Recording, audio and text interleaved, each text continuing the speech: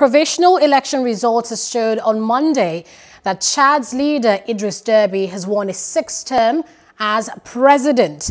Uh, the 68-year-old Deby took 79.3% of the vote from the April 11 election after top opposition leaders boycotted to protest his effort to extend his 30 years in power. Supporters had gathered in N'Djamena for the president's victory speech, but his party said he had instead gone to visit Chadian soldiers on the front lines. Deby came to power in a rebellion in 1990.